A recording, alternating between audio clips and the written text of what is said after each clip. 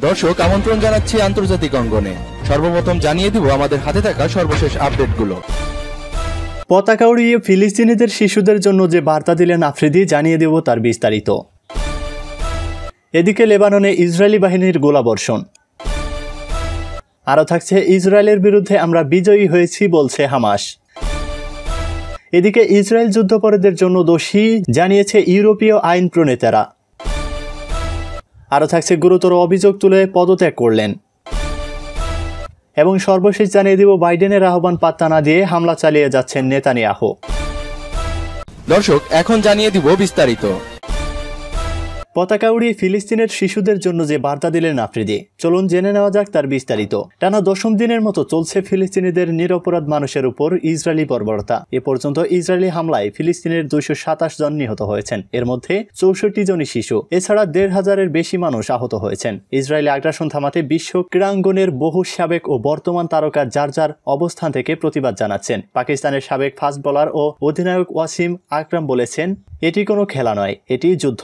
আর দিন শেষে এত মৃত্যু দুর্দশা যেখানে, সেখানে কেউ জয়ী হতে পারে না। সবাই হেরে গেছে এরই মধ্যে। ফিলিস্তিনিদের পাশে দাঁড়ান মানবতার পক্ষে আওয়াজ তোলেন এমনটাই বলেন তিনি। স্বদেশী জ্যৈষ্ঠ তারকার মতোই গাজায় ইসরায়েলের গণহত্যার বিরুদ্ধে প্রতিবাদ মুখর হয়েছেন পাকিস্তানের সাবেক অলরাউন্ডার ও অধিনায়ক শহীদ আফ্রিদি। নির্যাতিত ফিলিস্তিনিদের সমর্থনে নিজের মেয়েকে সঙ্গে নিয়ে ফিলিস্তিনের পতাকা উড়িয়েছেন তিনি। ছবিটি নিজের টুইটারে আপলোড করেন বুম বুম। ক্যাপশনে উর্দুতে লিখেছেন, ফিলিস্তিনের শিশুরা তোমাদের জন্য এই বার্তা। আমরা তোমাদের থেকে অনেক দূরে আছি, কিন্তু আমাদের হৃদয় স্পন্দন তোমাদের সঙ্গে রয়েছে। বর্তমানে উদ্বেগপূর্ণ সময় পেরিয়ে শিগগিরই শান্তিতে ফিরবে ফিলিস্তিন। আমাদের বাবাও তাদের বাবারাও হৃদয় স্পন্দন ছিল তোমাদের পূর্বপুরুষদের সঙ্গে। কষ্ট, ভয়, উদ্বেগ, এসব সাময়িক, দুঃখের এই সময়টা চিরস্থায়ী নয়, এমনটাই বলেন শহীদ আফ্রিদি।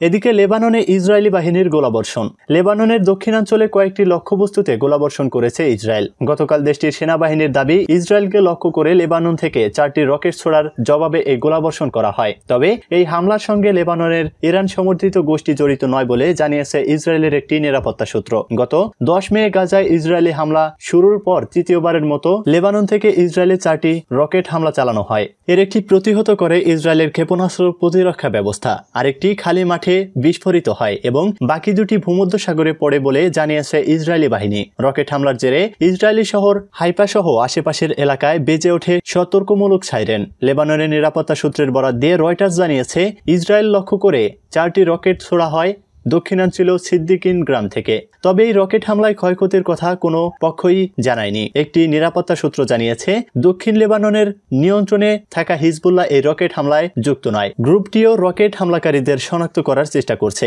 ইসরায়েলের সামরিক বিষয়ক দূত জানিয়েছেন, সম্ভবত গাজায় ফিলিস্তিনিদের সংহতি জানানো কোনো একটি গ্রুপ এসব রকেট হামলা চালিয়েছে। এর আগে গত সোমবার লেবানন থেকে ইসরায়েলের উত্তরাঞ্চল লক্ষ্য করে ছয়টি গোলাবর্ষণ হয়, তবে সেগুলো সীমান্তের অভ্যন্তরে বিস্ফোরিত হয়। এর পাল্টা প্রতিক্রিয়ায় গোলাবর্ষণ করে ইসরায়েল। বৃহস্পতিবার লেবানন থেকে ছোড়া তিনটি রকেট ভূমধ্যসাগরে পড়ে। এরপর আবারও রকেট হামলা চালানো হয়। দুই হাজার ছয় সালে আধুনিক রকেট থাকা হিজবুল্লাহ গেরিলাদের বিরুদ্ধে যুদ্ধ করে ইসরায়েল। তারপর থেকে মূলত নীরব রয়েছে এই সীমান্ত। ফিলিস্তিনি ছোট ছোট গোষ্ঠী অতীতেও ইসরায়েলে বিচ্ছিন্নভাবে হামলা চালিয়েছে। এই সূত্র জানিয়েছে রয়টার্স। এদিকে ইসরায়েলের বিরুদ্ধে আমরা বিজয়ী হয়েছি বলছে হামাস। ফিলিস্তিনের ইসলামী প্রতিরোধ আন্দোলন হামাস ইহুদিবাদী ইসরায়েলের বিরুদ্ধে নিজেদেরকে বিজয়ী ঘোষণা করেছেন। একই সঙ্গে সংগঠনটি ইসরায়েলের যুদ্ধবাজ প্রধানমন্ত্রী বেনিয়ামিন নেতানিয়াহুকে পরাজিত বলে উল্লেখ করেছে। ইহুদিবাদী ইসরায়েল অবরুদ্ধ গাজা উপত্যকায় ভয়াবহ আগ্রাসন চালাচ্ছে। তবে গাজা ভিত্তিক প্রতিরোধকামী সংগঠন হামাস এবং ইসলামী জিহাদ আন্দোলন ইসরায়েলকে লক্ষ্য করে কয়েক হাজার রকেট ছুড়েছে। হামাসের উপপ্রধান মুসা আবু মারজুক বলেছেন, নেতানিয়াহু মারাত্মকভাবে পরাজিত হয়েছেন এবং হামাস বিজয় ঘোষণা করেছে। লেবাননের আল মাদিয়ান টেলিভিশন চ্যানেল এ খবর দিয়েছে। তিনি বলেন, আগামী এক বা দুই দিনের মধ্যে আমরা একটি যুদ্ধবিরতিতে পৌঁছানোর আশা করছি। মুসাবু মারজুকের মতে, হামাস এবং জিহাদ আন্দোলনের পাল্টা জবাবের মুখে আমেরিকা হামলা কমানোর জন্য ইসরায়েলি নেতাদের উপর চাপ সৃষ্টি করেছেন। এর আগে গতকাল সংঘর্ষ কমিয়ে যুদ্ধবিরতির পথে হাঁটার জন্য মার্কিন প্রেসিডেন্ট জো বাইডেন নেতানিয়াহুর প্রতি আহ্বান জানিয়েছেন। তার সামান্য আগে জাতিসংঘ নিরাপত্তা পরিষদে ইসরায়েল বিরোধী নিন্দা প্রস্তাব পাশে বাধা দিয়েছে আমেরিকা। নেতানিয়াহুর কার্যালয়ের মুখপাত্রের তথ্য অনুযায়ী গাজা থেকে প্রতিরোধ আন্দোলনগুলো ইসরায়েলি আগ্রাসনের জবাবে চার হাজার রকেট ছুড়েছে, এই সূত্র জানিয়েছে পার্স টুডে।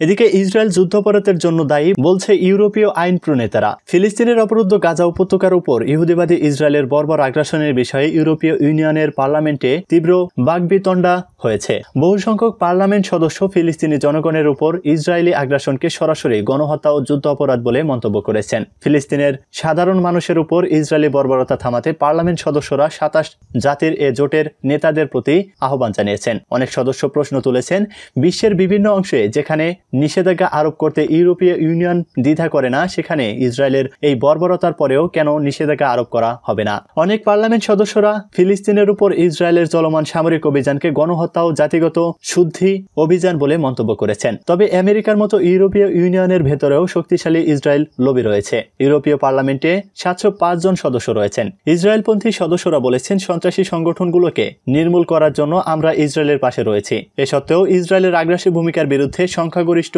সদস্যরা আহ্বান জানিয়েছেন। তারা মনে করেন সামরিক উপায়ে ফিলিস্তিনি সংকটের সমাধান হবে না। সেক্ষেত্রে আমেরিকা ইসরায়েলকে যে অস্ত্র দিয়ে আসছে, তা চলমান পরিস্থিতির জন্য কোনো জবাব হতে পারে না, এই সূত্র জানিয়েছে পার্স টুডে।